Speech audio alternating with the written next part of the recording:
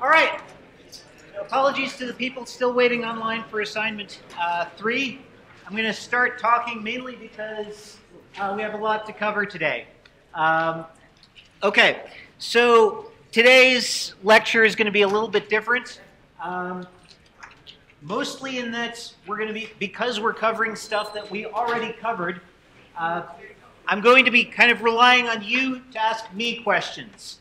Um, I'll be asking you questions to make sure that you're still awake, but uh, the entire purpose of this class is to make sure that you guys understand what I'm talking about. So if you don't understand what I'm talking about, please speak up because this is kind of the last chance you have to really interrogate me.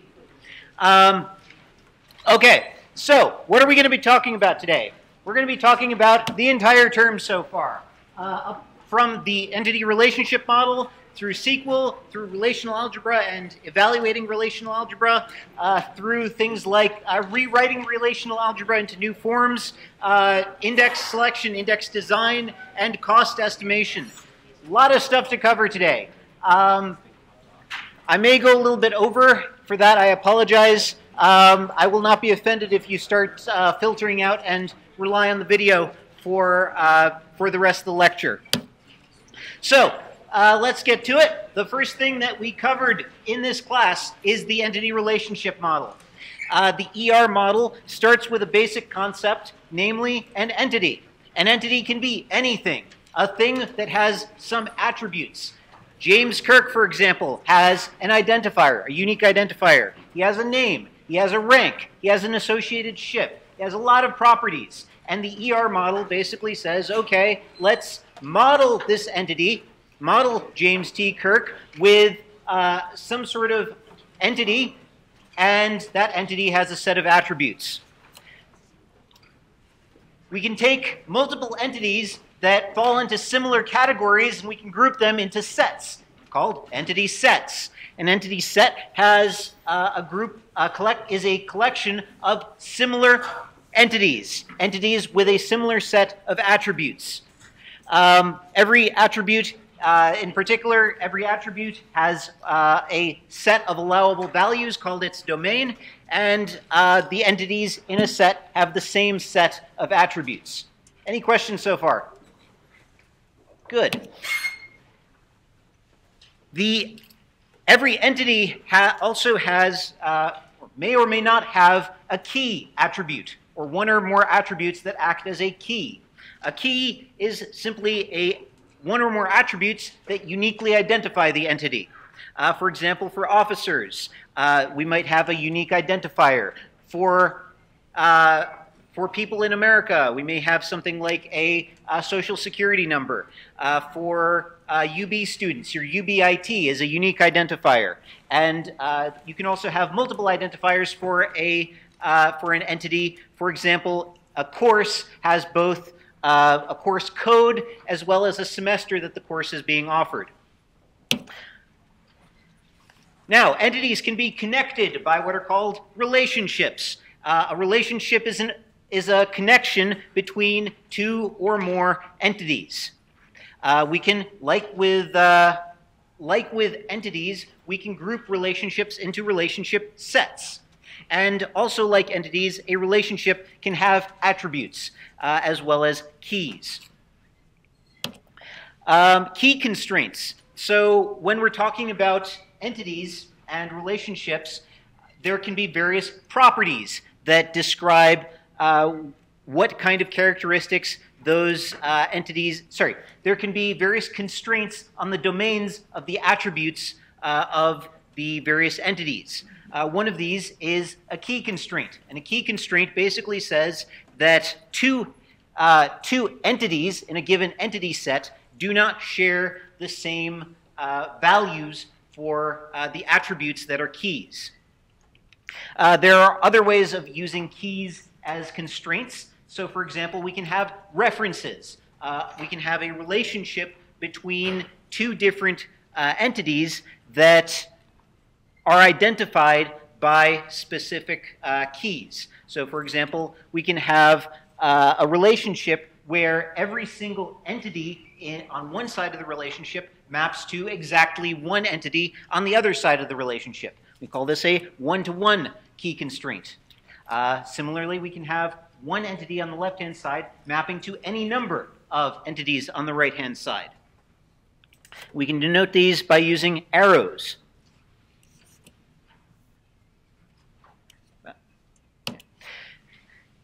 There's also what's called a participation constraint. So a arrow indicates that there is at, at most, sorry, that uh, there is a, uh, that the, the source of the arrow can occur uh, as many times as we like. A participation constraint, uh, denoted as a bold line, indicates that the entity must participate in a given uh, constraint. So, for example, a ship must have a commanding officer.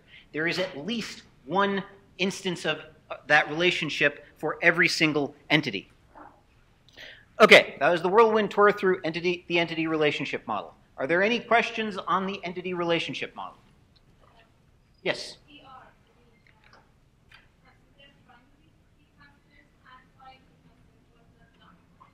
But not what? Uh, the entity relationship model does, includes uh, or captures, I should say, uh, key constraints, and it contains. Uh, sorry, what was the other one you said? Uh, it captures key constraints with an underline. It carry, captures foreign key constraints with an arrow. it does not capture domain constraints, although those are typically implicit based on the type of the attribute. it does not, however, note what that, those domain constraints are. Does that address your concern? Any other questions on the entity relationship model?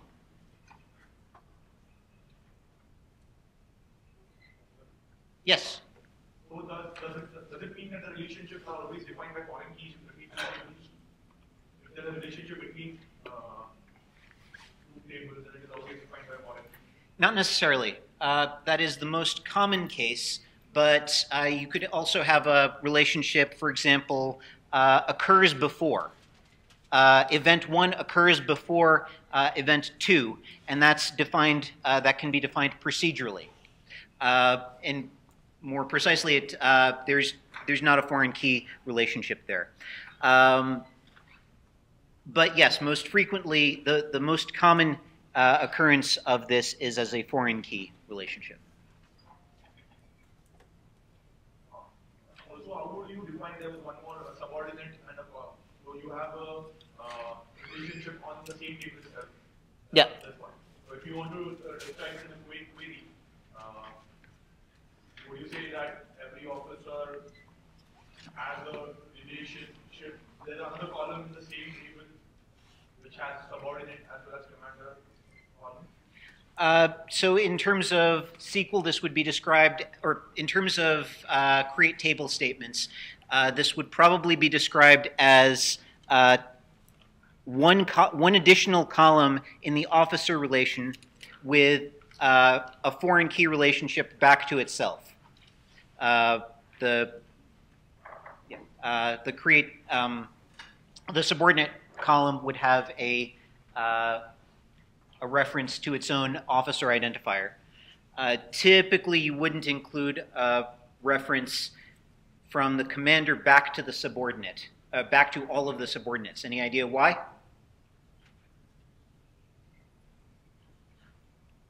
Why, why wouldn't we encode uh, all of the subordinates of a given commander?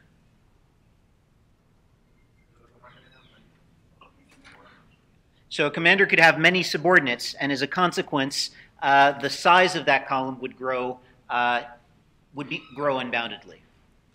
Okay. Um, all right, any other questions on entity relationship? Yes?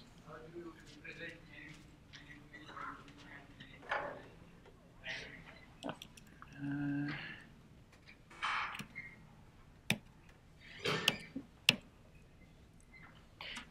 right. So uh, you represent those by using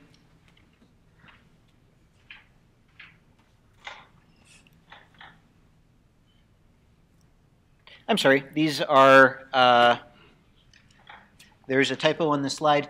Uh, this should be uh, key constraints identify entities that participate uh, in um, that must. Uh, sorry.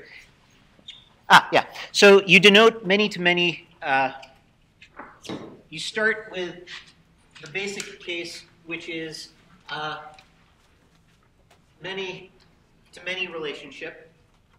And to denote a many to one relationship, you use an arrow on the side of uh, the one. Getting that right? Uh, officers? Yes. So every officer has uh, at most one ship. So this this is the side of sorry, this is the side of the many, and this is the side of the one. Um, and you do a one-to-one by having two arrows. So this means that this participates at most once. This means that this participates at most once. And if the line is bold, that means that it must.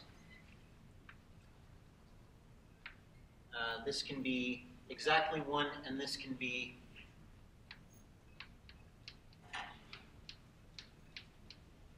zero or one. Uh, if this, sorry, if this line is bold and has an arrow, that means that this must participate at least once, and the arrow means it can only participate at most once. So it has to participate exactly once in this relationship. Yes?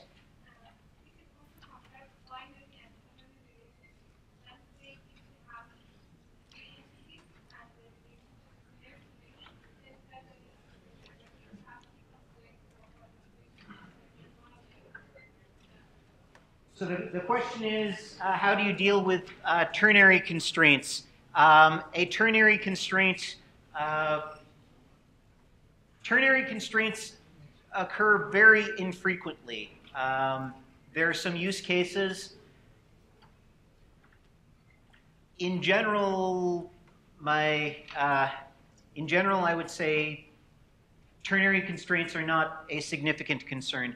Uh, when are they useful versus what do they mean? Uh, they mean that three entities participate in a given relationship. When are they useful? Very infrequently. Um, any other questions on entity relationship? All right, moving on to SQL. So the basic structure of a SQL query, select, optional distinct parameter, set of targets, a, relate, a list of relations, and a where uh, clause. And naively, without any sort of uh, additional um, manipulation, naively, the way that you evaluate this is by first computing the Cartesian product of every relation that appears in relation list, discard all of the attributes that uh, are not in the target, uh, sorry, uh, discard all of the tuples that fail the condition, and then delete any attributes that are not in the target list. Um, if the unique or distinct fields are, um, are specified, you uh, either eliminate rows that occur with duplicates or you eliminate simply duplicate rows. Uh, question to see if you're awake. Uh, why do we need to explicitly state that uh, we want duplicate rows eliminated with the distinct operator? Yes? Speak up.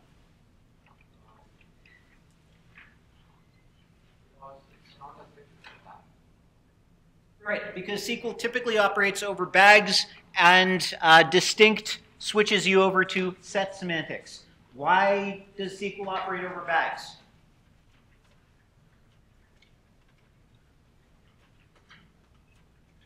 Yes. Because sometimes you need to count the duplicates or something like that to count the number of things to satisfy certain conditions. Might be duplicated.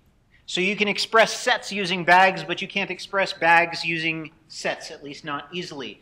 Uh, what is the other? Uh, is there any uh, performance implication? Duplicate elimination is expensive, so we want to avoid it if at all possible. Great. All right.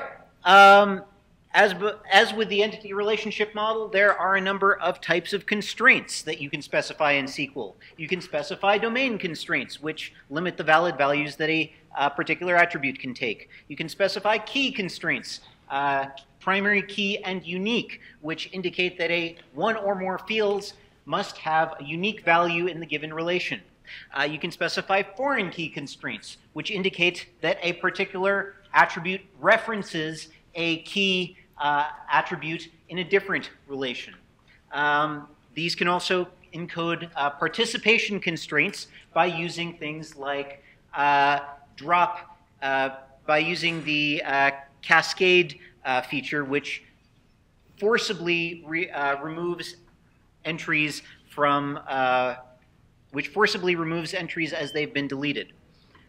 sorry, forcibly remove cascades, deletions, and updates uh, down to dependent uh, dependent rows of the or dependent uh, relations.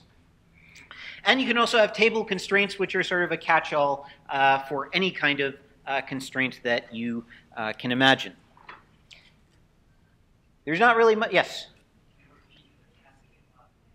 Ah, yeah. So a foreign key, you can you can include a in a SQL. sorry, in in the definition of a foreign key constraint, you can include uh, what to do if the dependent uh, attribute changes. So the, uh, when you first insert a tuple into uh, a relation with a foreign key constraint, the foreign key constraint will be verified to see if there, you will not be allowed to insert a tuple if there is a, uh, if the foreign key constraint is not pointing to anything useful. Uh, after that happens, however, uh, the database doesn't really know what to do if the dependent uh, value is removed. So you can do one of three different things. You can either uh, react to the uh, deletion or update of a key attribute by uh, deleting or updating the foreign key attributes that point to it. Um, you can react by replacing the foreign key attributes with a null value or you can react by simply precluding that kind of transaction, uh, the, a transaction that would delete a, a key attribute that is referenced from the outside. Does that address your concern? So, uh,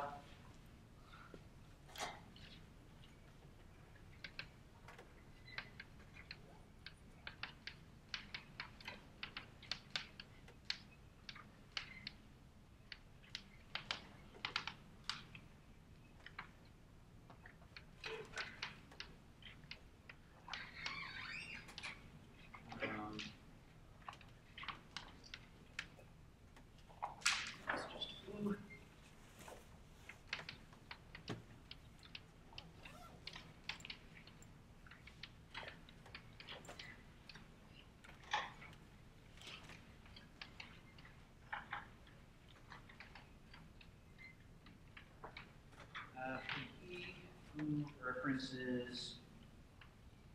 Um,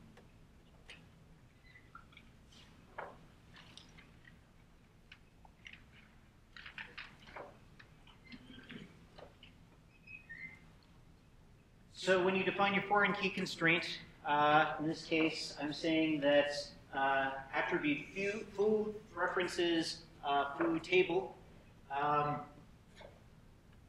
I can add cascade parameter, or sorry, I can add a tree, um, on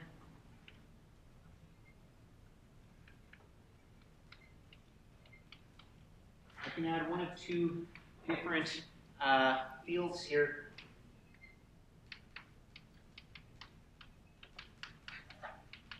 One to do uh, something when I get an update, one to do something when I uh, when a row from foo table is deleted or updated. Uh, and what I can do here is either cascade, in which case when I change foo table uh, dot foo, that will get updated as well. Or I can delete, in which case, uh, sorry, if, if I'm deleting, a cascade will cause all of the corresponding rows of this table to be deleted. Um, I can also replace with null, I can replace with a default value, and I can react in uh, one of several different ways. Does that address your concern better? Any other questions on SQL?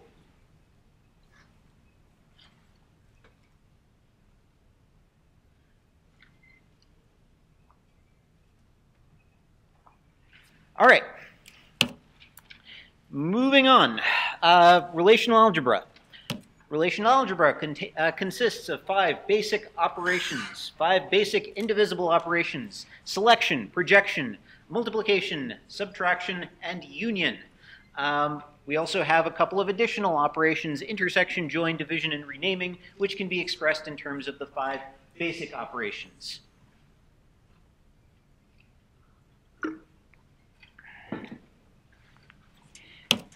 Any SQL statement can be converted into an equivalent relational algebra expression by using this handy dandy conversion chart.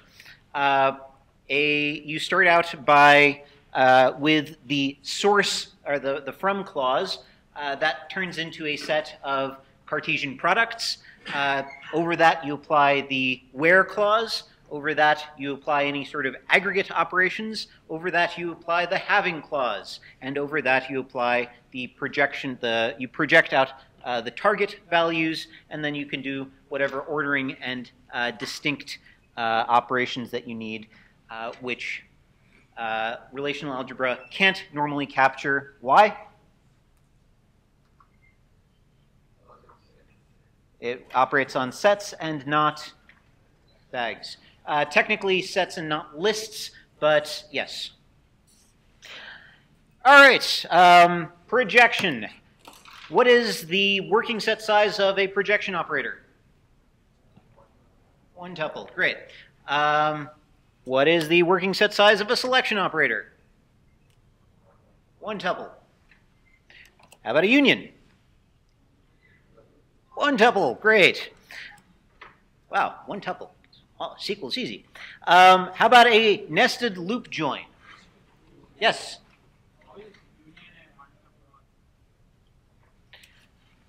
Uh, where are we? Union.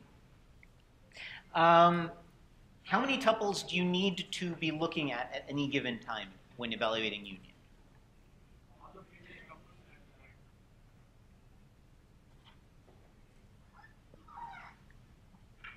Ah, okay.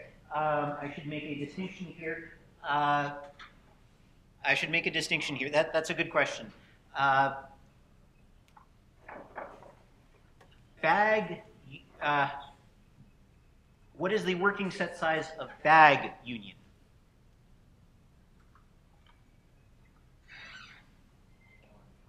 Hmm? One tuple. What is the working set size of set union?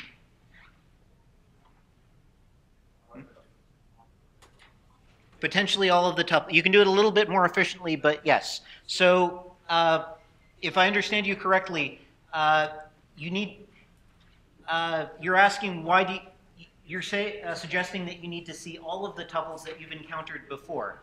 Uh, is that because of you want to deduplicate? Right. So if you're uh, if you're working with sets, then I I agree. You need to see all of the tuples that you've encountered before. If you're working with bags, you don't need to do de deduplication. So once you've emitted a tuple uh, further up the chain, you don't uh, you don't need to see that tuple ever again. Does that address your concern? Uh, yeah.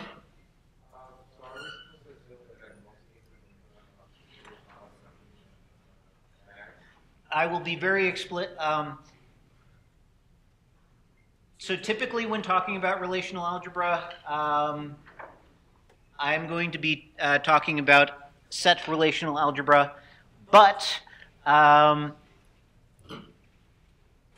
where it is relevant, I will, I, um, given that I'm talking about evaluation here, uh, uh, since typically we work with SQL, SQL is bags. Uh, given that I'm talking about evaluation here, uh, bag, you're, you're, right, I should have been more, uh, more precise on the exam, this is very, uh, anywhere there is relational algebra is very clearly stated already uh, whether it is bag relational algebra or set relational algebra. Does that address your concern?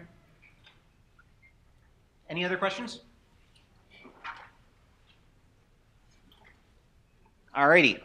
Um, what's the working set size of a relation scan or file scan operator? One tuple, great. Uh, what about a nested loop join? Hmm? How many tuples do I need to look at at any given point in time for a nested loop join? Two tuples. Uh, yeah. So I need the tuple from the left-hand side and the tuple from the right-hand side. And I can combine them. Technically, I don't need more space for that. All right. Um, right. Um, what about a non-group by aggregate? What's my working set size? One tuple. Great. Uh, what is the contents of that tuple? Actually, I should. Uh, there, there is a but here. What is the what is the but? So can I do this for some aggregates? Yes. And what's the tuple? The current sum. Uh, can I do this for average? No. Um, you need Okay, so you need an extra field to store what? The count and the uh, and the sum. So you can you can still store it in conceive, uh, conceptually one tuple. You just need a slightly bigger tuple. Uh, what about um, what about the uh, median value? Yeah. So for a median, you need the entire relation. All right. What about a group by aggregate?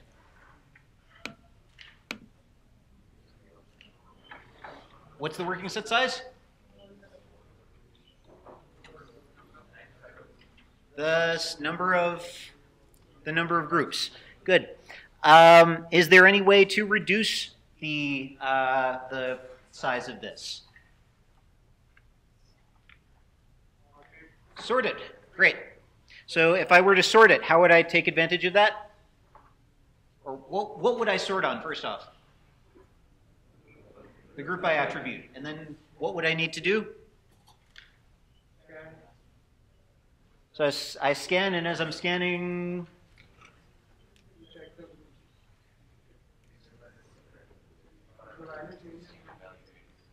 Okay, so when the uh, group changes, when I move to a new group, I can emit the, the last tuple. Great. All right. Um, perfect. Perfect. I can skip that. Um, um, um, um. All right.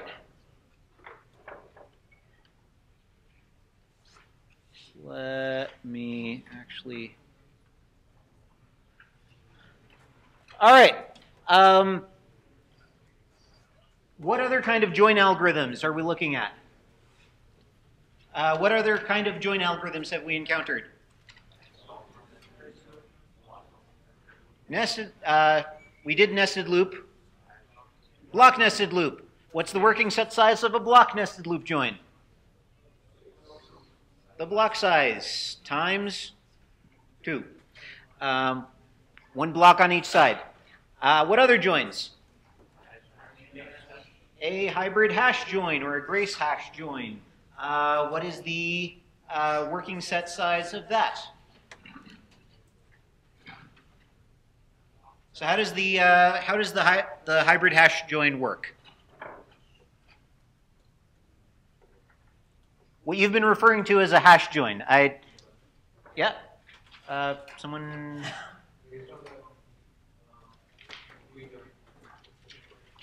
Okay, so for an equijoin, uh, you build a ha- you do a hash join on uh, when you have an equality predicate that you're joining on. How do you uh, what do you do? You generate buckets for, for one of the two tables. Uh, you read in the entire table, you generate a set of, uh, a hash, excuse me, you generate a hash table for it, and then Then you use the hash function on the other side of the relation, and for every tuple in there, you uh, check, you do a nested loop join on the uh, appropriate bucket. What is the uh, working set size then? The size of the hash table, good. Plus one tuple. All right, what other kind of, what about a sort merge join? Let's uh, break that down into two phases. What is the working set size of the merge phase? Two tuples. Good. Uh, excuse me. Always is that always the case?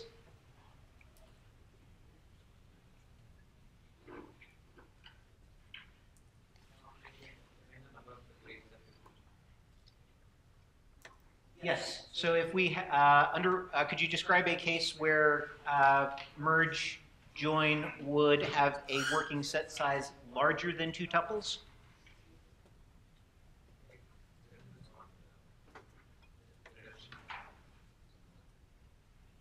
So assuming that you're sorry, uh, assuming that the data was already sorted um, in the correct order, what uh, is, is there a situation where merge sort would require more than one? Uh, uh, is there a situation where merge sort would require a working set size that's more than two tuples? Yes. Duplicates. Uh, okay, so if there were multiple, uh, if there were multiple instances of the join attribute, if it wasn't a key on one side at least, the working set size would have to be or sorry, if it was a if it wasn't a key on both sides of the relation, then the working set size would have to be the number of duplicates, uh, the maximum number of duplicates uh, that occur on either side. Okay. Um, what about the uh, sort phase? What is the working set size of a sort?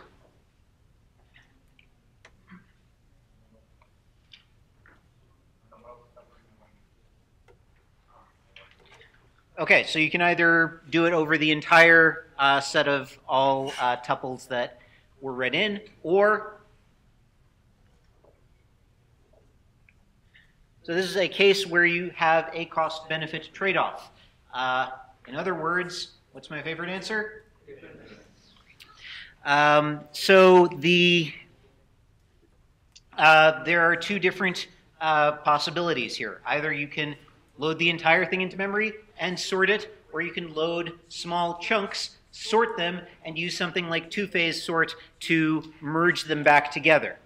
Um, in the latter case, the working set size is whatever you want it to be. And in the former case, the working set size is the whole thing. Um, in the latter case, the amount of work that you do is dependent on, or the, sorry, the amount of uh, uh, IOs that you need to perform are dependent on the size of the uh, relation.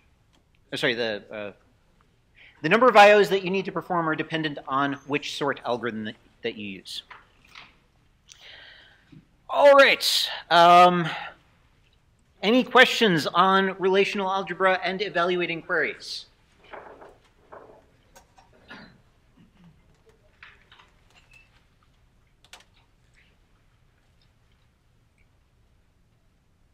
Yes.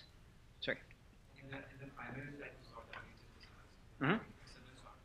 we have a buffer size of uh, memory size five pages. Okay. So so uh, we we pick four pages at once. For for reading, we read four pages at once. If okay, let's uh, let's go over this. So, uh, how do we? How does the two phase the two pass external sort work?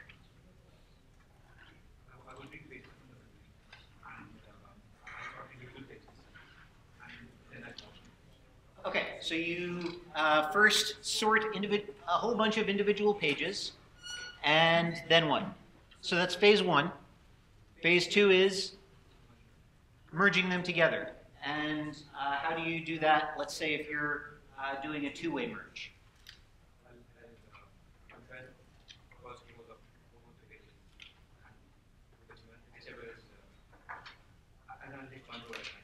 first So you read two pages in, and then you start merging merging them into a, a two-page long sorted buffer. Okay, uh, using standard merge sort. Um, okay, uh, what happens after that?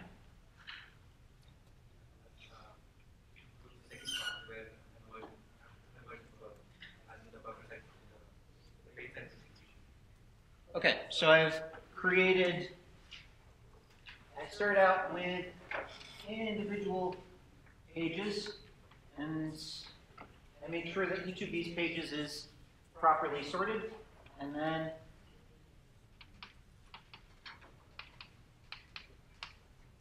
I take those two pages, merge them into a two-page long uh, sorted buffer. Now, as I'm merging these into a fully sorted buffer, uh, what is the working set size of that?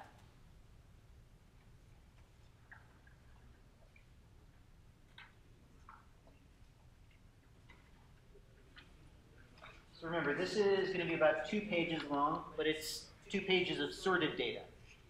Do I need to, when, which of these do I need to load into memory initially? Let's call them C, A and C. Okay. And then when I exhaust one of these, uh, let's say I exhaust C, all the, the tuples in C first, I just need to load in D, right? So how many tuple, how many pages do I need in memory at any given time? At a minimum. Two. Great. Can you amend that slightly? Three, because you also need one page uh, to store your output. Okay. Does that address your concern? Any other questions?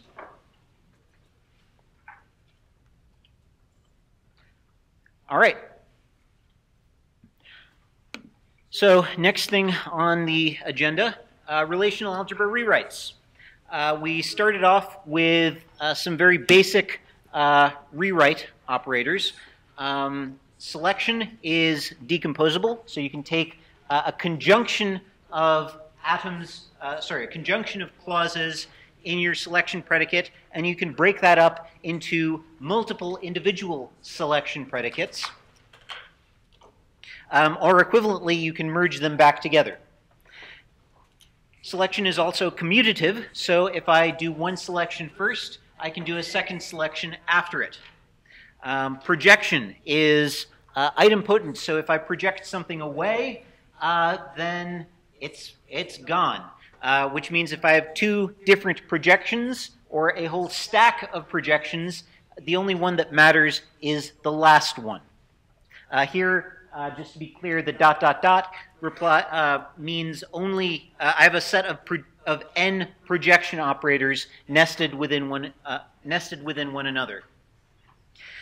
we also have a couple of rules for join and by association uh, sorry, for cross product and by association for join, uh, namely that joins are associative, so I can parenthesize them however I like and still get the same result, uh, and they're commutative, so I can uh, reorder them however I like and still get the same result. Questions? Good. Projection and selection commute except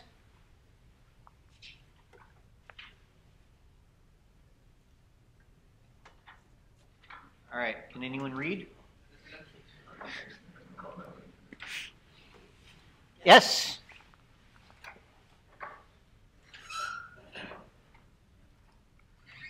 Okay.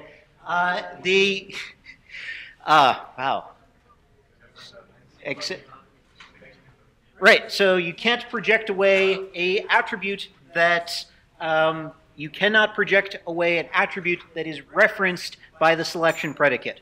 So the columns that you project down to must include all of the columns that you're, uh, you're using in your selection predicate. All right, um, we also have uh, fairly standard uh, uh operation a join is just a selection on top of a cross product, so we can always alternate between these two representations freely. And that's an important one. Um, and of course, the only reason that you'd actually want to combine them together is if we have a good join algorithm for uh, the clause in C. Um, if C only applies to one of the two relations, we can, yes? Uh, if there is no C there, what's the thought? So there is always a C, um, but if, uh, in terms of notation, conceptually there is always a C. Uh, in terms of notation, uh, if there is no subscript on the join, uh, that is often referred to as a natural join, and it means take all of that there is an equality predicate on all of the attributes with the same name on either side of the relation.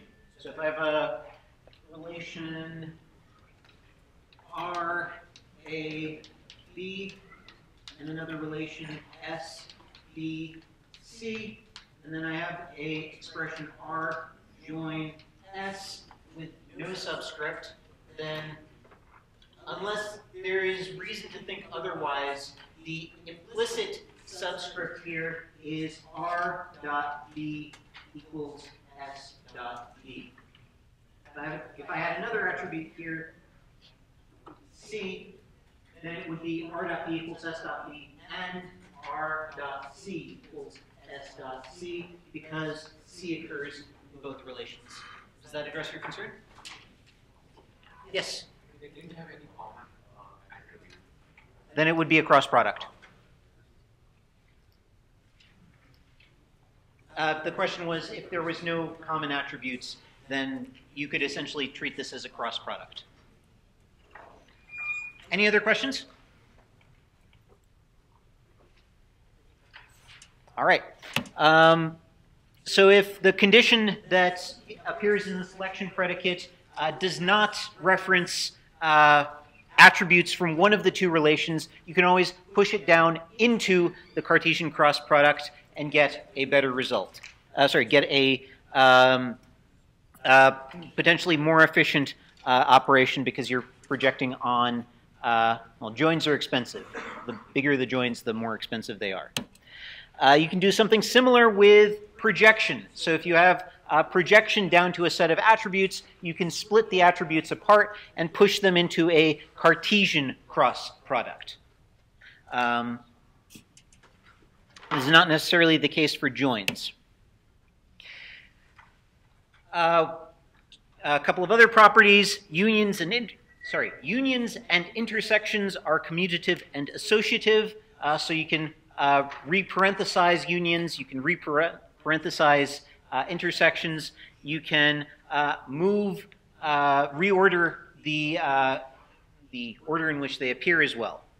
Um, and selection and projection can be pushed down into unions or back up, sorry, down into unions or back up out of unions. Um, right we are running low on time. All right. Um, basic question. I have two different join expressions. Which is better? Yes. Thank you. All right. Um,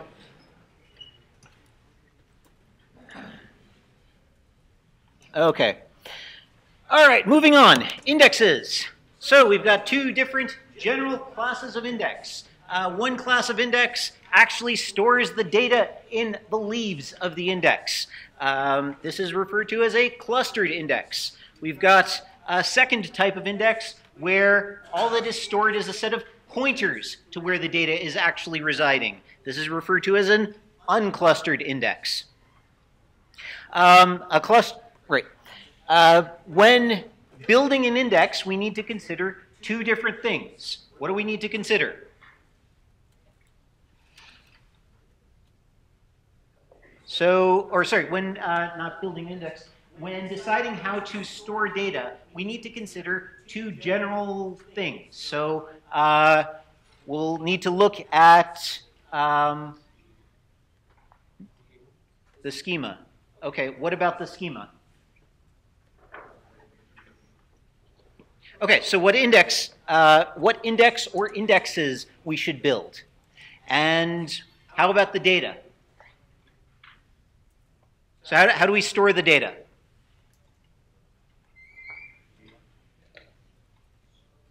So we could we could store the data in uh, some sort of sorted order. We could store it unsorted. What do we call that? Did I hear heap? Heap. Uh, we can uh, store it as a heap, or we could store it actually in the index itself. Um, the so we basically need to consider two different things: uh, how the data is organized, and then how the data is actually physically laid out on disk. Um, now, what are what kind? Oh wow, we are going pretty crazy. Um, let me get back to that question in two slides. Okay. So, um, an index is basically there for one purpose and one purpose alone to simplify uh, this general kind of uh, query structure. If I have a selection predicate that's sitting over a file scan operator, I can streamline the evaluation of that file scan operator by using an index or by making use of the way that the data is laid out. Um, if I have two different at, uh, two different subclauses in that selection predicate, recall we can reorder these things. We can take a selection predicate and decompose it into multiple selection predicates. So we can pick out the clause that is most useful to us, and we can uh, have the, uh, once again get back to our sort of selection operator sitting on top of a file scan operator. Um, and we can take advantage of an index that specifically indexes the attributes that appear in condition clause uh, C1. Uh, under certain circumstances, when the attribute being, being indexed uh, appears in multiple clauses, we might be able to make use of that as well. So we can take, uh, for example, a, a, query where we have uh, bounds on attribute A, and we can turn that into a scan uh, over uh, a, a, specific portion of an index. And finally, we can do, uh, we can take advantage of a join sitting on top of a, uh, of a file scan operator by turning it into a index nested loop join. So rather than scanning the entire relation S, rather than trying to visit every single tuple in the relation S, we iterate. For every tuple in relation R, we do an index lookup for the matching tuples in relation S. Uh, by the way, what's the working set size here? How many tuples do we need to see from R? One. How many tuples do we need to see from S? One. Uh, well, it, it, it depends. Um, and what else does it depend on? The index, yes. So depending on which index we're using, uh, the lookup cost may be slightly different. Uh, let's say, yeah. so we've talked about a couple of different styles of index. We've talked about uh, index structured access method uh, tree indexes, which work very simply. We have a set of keys separating pointers. The pointers point down into the tree. Um, to dereference a value in an ISAM data structure, uh, in an ISAM index, uh, we find the two keys that bound the value that we're looking for, and we follow the pointer. And we repeat this process until we get to the leaves, uh, the leaf pages. So if I have a, a, value between K3 and K4, I would follow pointer P3.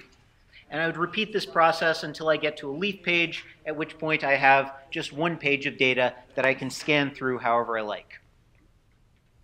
Now, uh, the disadvantage to an ISAM data structure is that it is not easily modifiable. So people came up with a, uh, a new technique uh, ages ago called a B plus tree, which is more or less the same basic principle, but rather than trying to fill up all of the index nodes, we keep a couple of them free. And this allows us to resize the B plus tree uh, more efficiently. Any questions so far, by the way?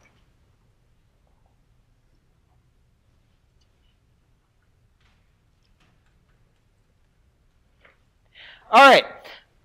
What is the cost of doing, skipping over a thing, uh, on this basic kind of index structure where we have every single non-leaf page completely full? What is the cost of doing a lookup? Assuming that we have, uh, let's say, k keys per page. Log base k of the size of the relation. Good. Uh, what is the cost of doing an insertion?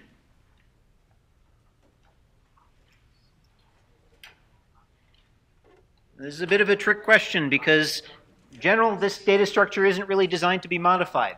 Uh, the, the hack uh, that people originally used is that you simply add leaf, uh, sorry, add overflow pages.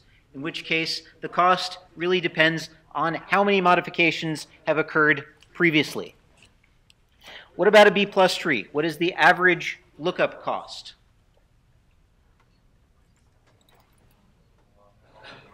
Log base, you can call it log base k. It's log base of, well, a little less than k. Um, if the fill factor, uh, sorry, if typically the width of a tree is going to be somewhere between k over 2 and k. So 3, 3k over 4 uh, is reasonable. Um, right. What's the cost of doing an insertion into a B plus tree? What's the common case?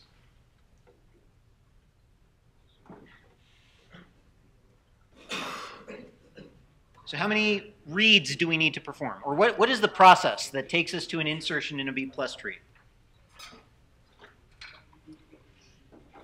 Can you speak up? Okay, so first you have to find the page where the data is going to be stored. What's next?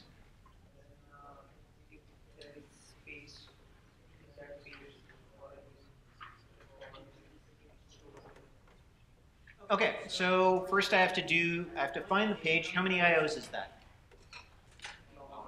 Log base k of n. Um, then I need to read that data page and I need to write it back. How many? Uh, so two more IOs. What happens if I can't do an insertion? Uh, what happens if the data page is full? I have to split it. What does that entail?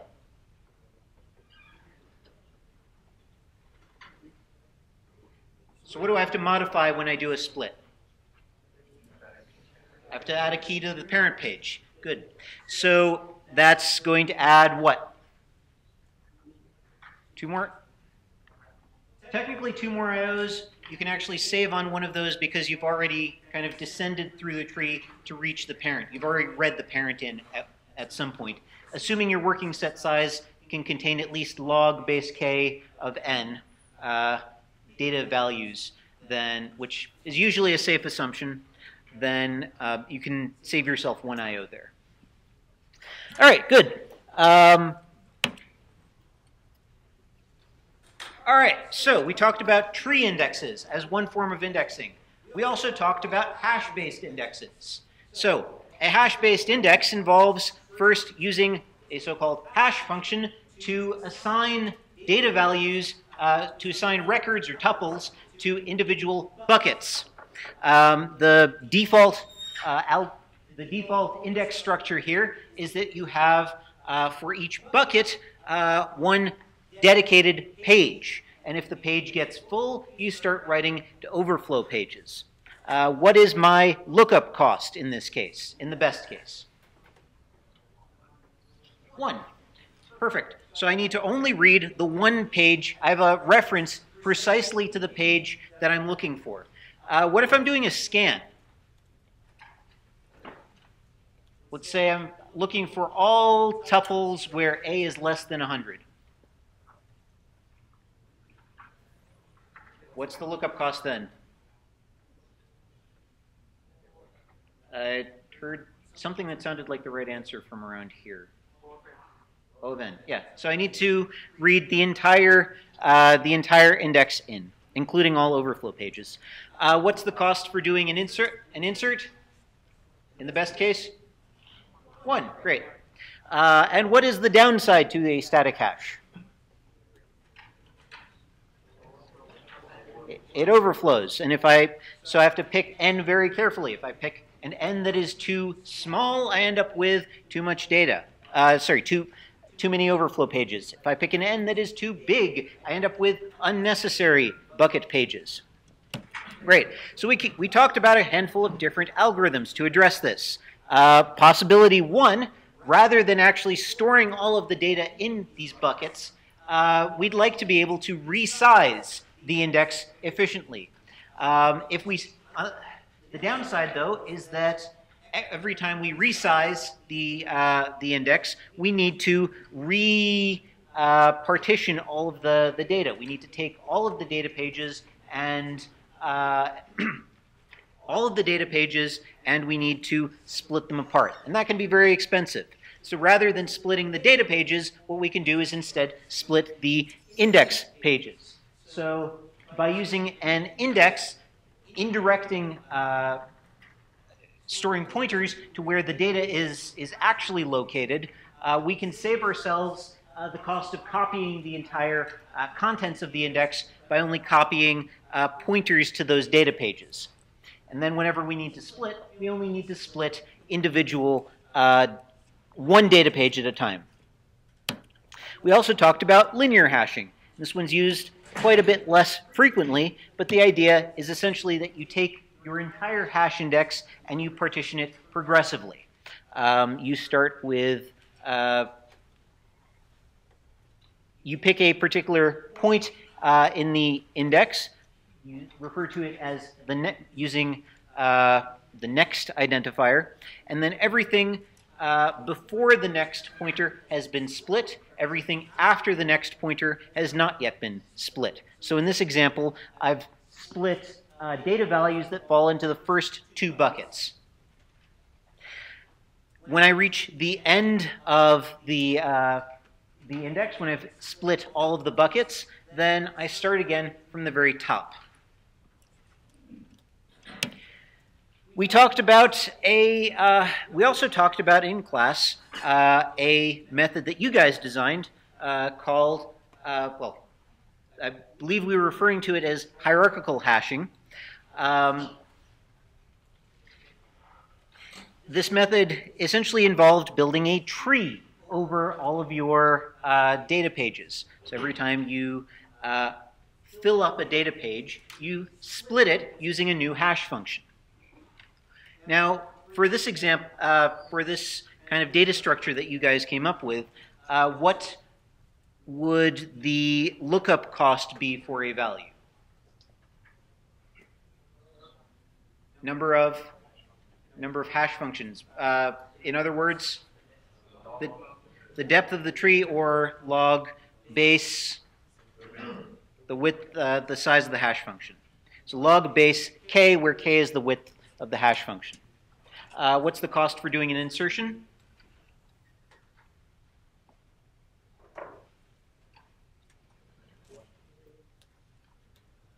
So what, what, uh, how would you go about doing an insertion?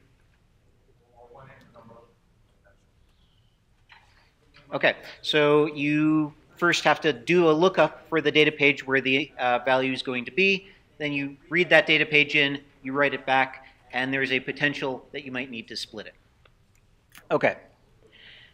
All right. Um, let's do a little bit of analysis as well. So we've talked about a variety of different indexing structures. Um, I'd also like you to have a sense of what is relevant in a query. So I've got one of the TPCH queries up here. Um, what features might be interesting when designing an index structure? Yes? Hmm? The um, well, even before we get there, what is uh, just how do you, uh, what is the reduction factor based on?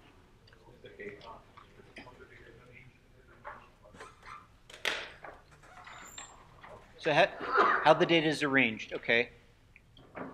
Well, actually, let, let me, um, let me back up a little bit. The reduction factor is useful for computing what? The,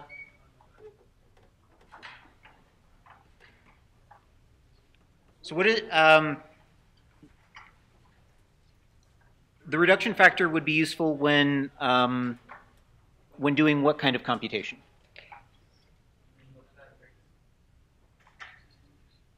Okay, so if, uh, it would be useful for computing something about a selection operator, and what specifically about a selection operator? The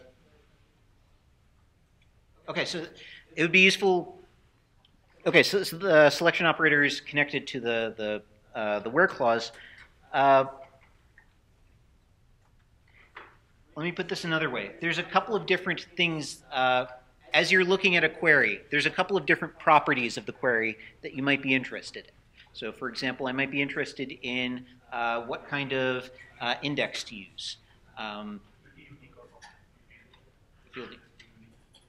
Okay, that, that could be used. Uh, so whether the field is unique or not could be used to compute to estimate the reduction factor. Um, so I- what I'm trying to get at here is that the reduction fac- factor is useful when computing the cost of the query, when computing the uh, cost of a particular plan. Um,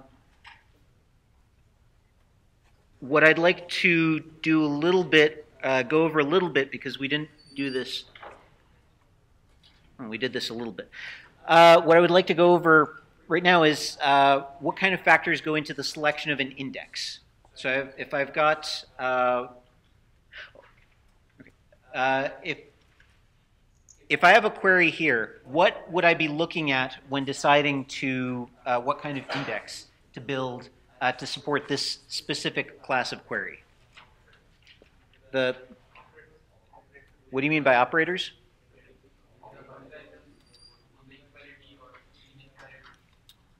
Okay, so I would be looking at the where clause. I'd be looking at what kind of things are, what kind of attributes are being uh, compared.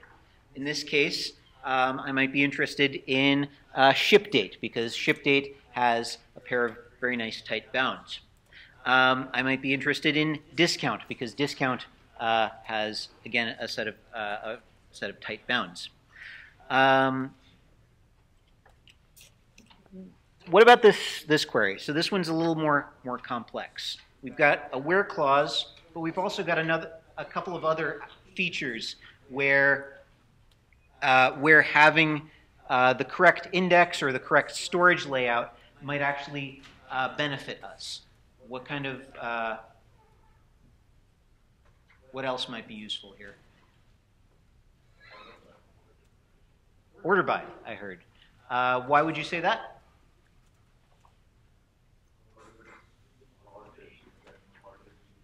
Okay, so if the data is already sorted, then you can take advantage of that uh, and avoid having to sort it again. Um, any other clauses that might be relevant?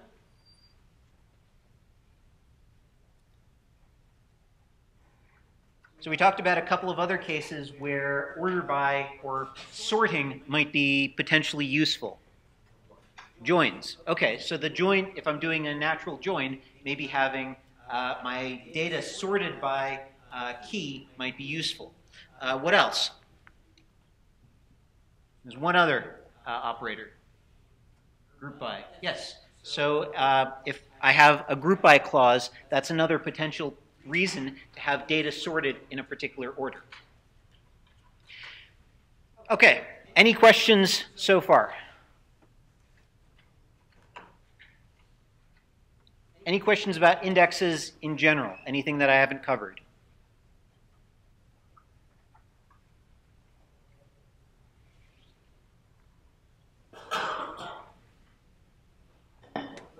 Yes.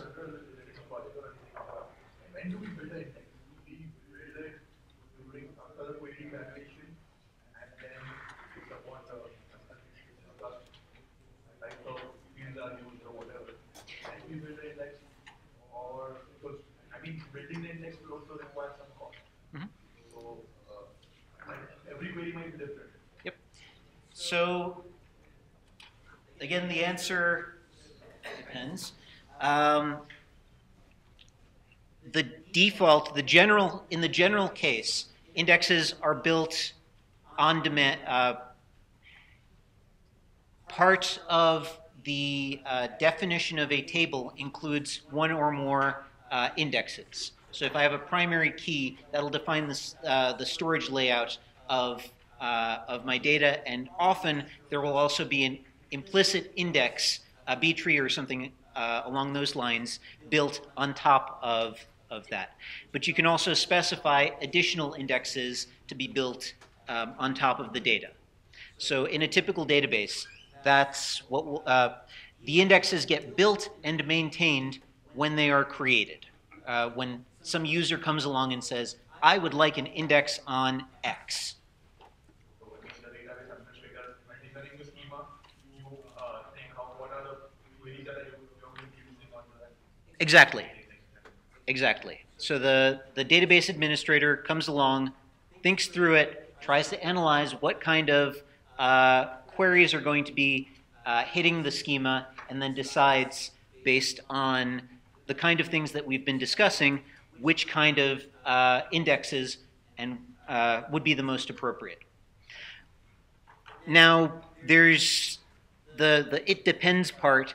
There's been a lot of work on sort of on demand indexes. There's been a lot of work on figuring out which indexes are the most appropriate. And that's an incredibly difficult problem, one that has been generating research papers two, three decades already. Um, given a particular workload, which, which are the most useful indexes?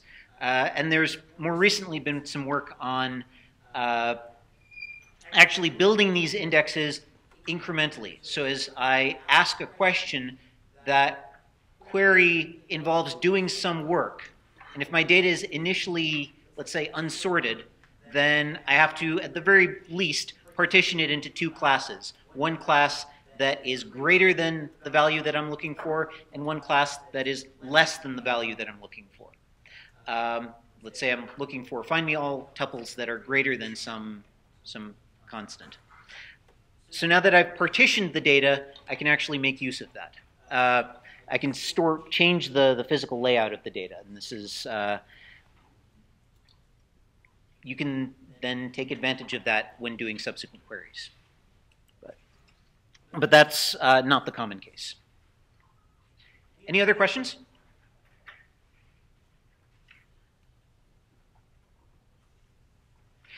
All right, uh, last thing that I want to cover is uh, cost estimation. So we talked about, um, we, well, we kind of already uh, jumped onto this a little bit.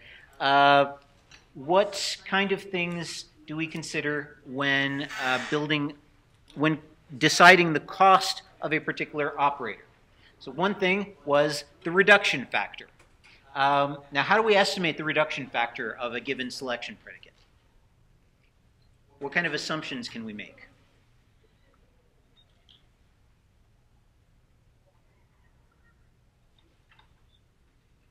What kind of statistics might we want to gather? The distribution of values. Okay, so we might want to ga- uh, compute uh, a distribution of the values. Um, how might we represent that? Or what information might, might we gather to, to get that? Okay, so at the more complex end of the uh, spectrum, we could build an actual histogram over the data and use that histogram to estimate the uh, to estimate uh, the distribution of, of, values for a given attribute. We can use that uh, to estimate a reduction factor. Uh, could we do something simpler?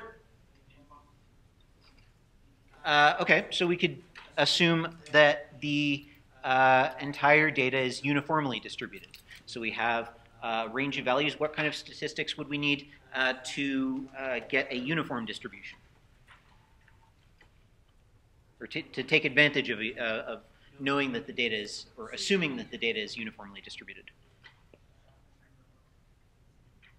Okay, so the number of distinct values that uh, could appear.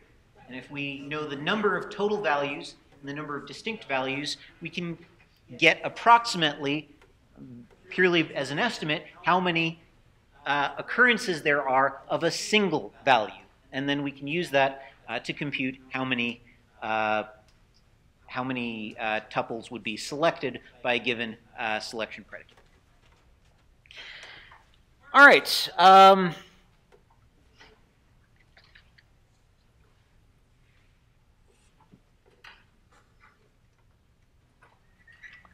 so we actually talked about the join algorithms already. We talked about the working set sizes. We talked about the I/O costs. Uh, we built up this big chart. I'm including this uh, handy dandy table um, for. Uh, including this handy dandy table, and uh, that we built up on. We essentially built this table up last class. Uh, same thing with this one. Um, that said, are there uh, any final questions that anyone has for uh, concerns, unsureties?